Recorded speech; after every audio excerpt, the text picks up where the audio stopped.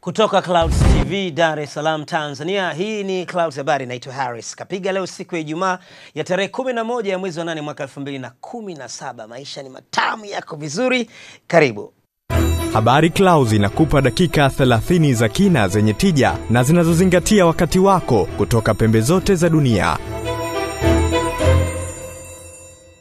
Hizi habari zinafahamika kama Habari Tanzania. Siku moja baada ya Marekani kutangaza kutoa fedha za nyongeza katika mwaka ujao kwa ajili ya utekelezaji wa miradi mbalimbali mbali ya maendeleo hapa nchini, nchi hiyo imetiliana sahihi na Wizara ya Fedha na Mipango makubaliano ya kutoa dola milioni 225. Taarifa zaidi hii hapa inasoma kwako na Tami Madamu.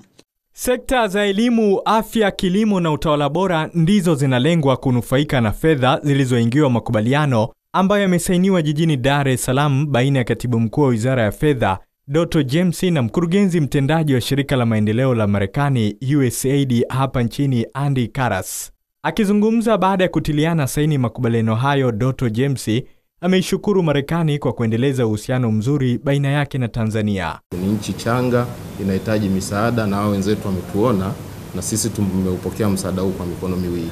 Naye Andy Karas amesema serikali na watu wa Marekani wanafurahishwa na kuendelea kwa ushirikiano mwema kati yao na serikali ya Tanzania katika maendeleo na ameahidi kuwa ushirikiano huo utadumishwa. Tunataka tuweze kuongeza nguvu zetu, hakikisha kwamba msaada wetu na miradi yetu inafuatana na malengo ya serikali ya Tanzania. Nashukuru kwa ushirikiano uh, kutoka na uh, Wizara ya Fedha na Mipango.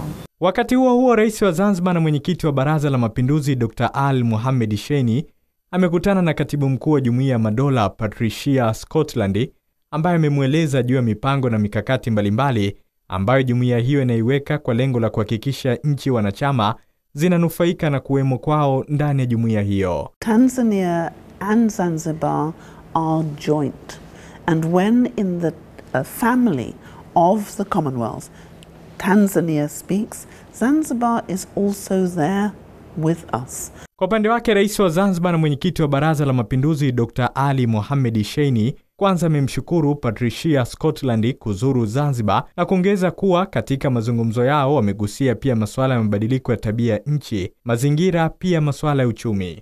Tumezungumzia kuhusu Umoja moja Madola, jumuiya kubwa na ina historia kubwa na faida zake kwa Tanzania na Zanzibar.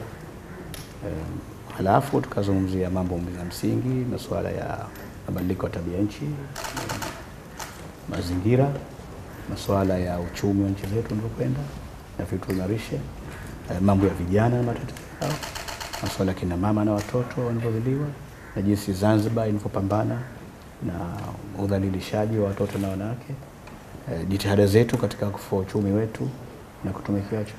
Kwa Zanzibar tume tumezungumzia mambo ya maendeleo ya Zanzibar na Tanzania na jumuiya moja Madola.